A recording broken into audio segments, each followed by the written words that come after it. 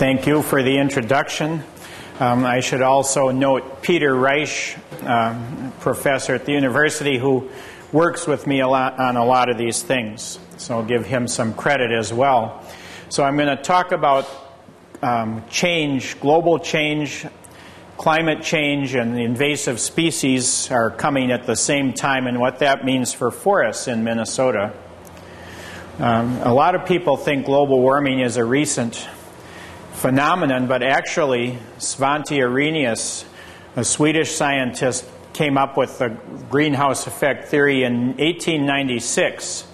And in, eight, in 1905, he published a paper where he predicted how much the atmosphere of the Earth would warm up if we doubled the CO2 content of the atmosphere. And he said, he calculated in 1905 that it would be 3 to 5 degrees Celsius, which is about 6 to 8 degrees Fahrenheit, if we doubled the CO2 content of the atmosphere. And now we've spent billions of dollars. We have all these fancy computer models. And guess what the latest prediction is? 3 to 5 degrees Celsius. We're still predicting the same thing that he predicted in 1905. And he, all, of course, there were no calculators or anything like that. He had paper and pencil, but he was a Swede, and all Swedes are 100 years ahead of the rest of the world, I guess. Um, but it's amazing what he was able to do. Uh, and he even got it right that it would warm up more at the poles than at the equator in 1905 with paper and pencil. So this is nothing new. We've known since 1905 that increasing carbon dioxide in the atmosphere would warm the climate of the Earth. And these are some of the, of the modern projections. One of the things that the modern models do, which Arrhenius was unable to do, is kind of map out the regional distribution of temperature and rainfall. And this is one, one of those projections. And as you can see here, this is summer, June, July, and August average temperature um, relative to 1960 to 1990 for the year 2090 to 2099 for the ICCP high emission scenario. They did high emission, which is essentially business as usual. We keep emitting as much CO2 as we have been. And then they also did a low emission scenario if we're actually successful in cutting the amount of CO2 we put in the atmosphere. Well, this is the high emission scenario in summer temperatures, and this is degrees Celsius here. So this is 8 degrees and 7 degrees Celsius, which is about 14 degrees Fahrenheit warmer than it is now. Um, and for most of Minnesota, 7 or 8 in the dark red and the really dark red. And then for precipitation for summer, the blue here actually indicates less precipitation than we have now. The darkest blue here is minus minus 25 percent. So if the summers are 14 degrees warmer and we get 25% less rain, that makes our climate about equal to Kansas City, which is right down here. Um, so by 2099, um, it, with a business as usual scenario, we could be as warm and dry as Kansas City. And this is going to cause major changes in our forests, of course. And this slide just depicts that summer. Minnesota would be like Kansas. In the winter, it would be like um, northern Illinois and southern Wisconsin. So, um, winters are not, we don't think winters will warm up as much as summers. But summers are what's really important for trees. Right? I mean, when trees are dormant, it doesn't matter a heck of a lot what happens. You know, they don't care if it's zero or 20 below zero, but whether it's 80 or 100 in the summer, they care a lot about that because that's when they're growing. So, what do trees do when the climate changes? Well, they don't adapt to the warmer climate, they migrate. And this is historical data from the fossil record showing how species of trees have migrated in the past when the climate changed. Um, and these are thousands of years before present. So this is spruce. 15,000 years ago, the northern edge of its range was here in Virginia, Ohio, and Indiana. And there were still glaciers up there, and it was migrating north. You can see it reached Duluth 11,000 years ago, and so on. And the shaded area here is the range of spruce today. The southern edge of the, of the or the northern edge of the range of spruce reached this area 13,000 years ago. Now the southern edge of its range is to the north of us. So it was here, and as the climate warmed, it migrated north.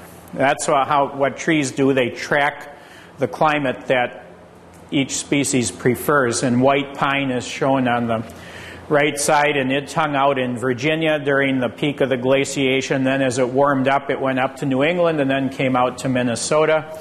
And you can see here it's been moving westward. It arrived in Itasca State Park only 2,000 years ago because you have to remember that we're in an interglacial, and the peak of the interglacial was 7,000 years ago. And we reached our warmest temperatures of the interglacial 7,000 years ago, and the natural trend since then has been to a cooler climate.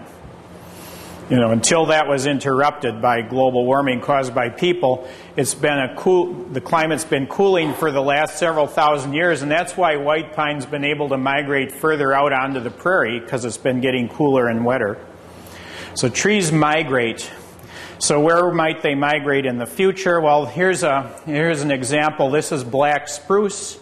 It's a very important tree in northern Minnesota. Even though it's cut off here, the Canadians made this map and they don't know the United States is here, so they cut it off. Um, but we know black spruce grows in Minnesota. So there's where it is currently, and this is where it would be with a doubled CO2 climate and about a 300 mile migration. The the problem with this is trees can't migrate very fast. It takes trees about 2,000 years to migrate 300 miles.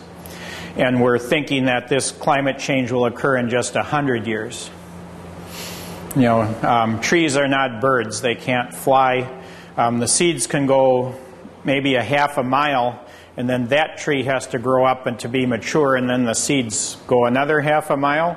So they can't move very fast, but when the glaciers left, that climate change took place over 10,000 years. So if they had to get from Tennessee all the way up to northern Minnesota in 10,000 years, it's easy.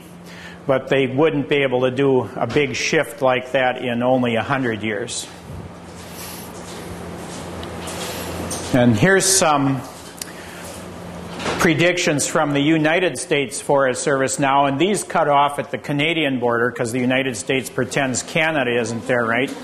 Um, trees don't care whether they live in the United States or Canada, but the Canadians and the Americans do. So, anyway, paper birch does grow in Canada. It doesn't really cut off at the border.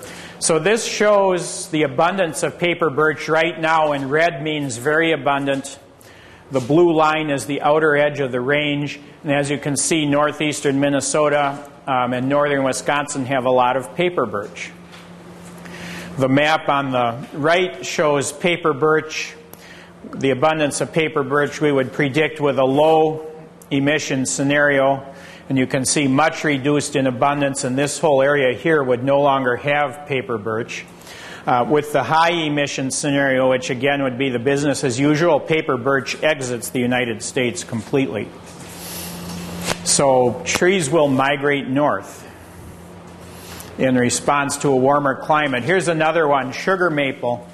Actually, a lot of sugar maple down in Kentucky and Tennessee and Indiana, and also northern Wisconsin, um, New York. And here's again a low emission scenario, and it's vacating that whole southern part of its range and might move up into the boundary waters. You know, so from the perspective of the boundary waters, it might be a new species coming in as black spruce exits.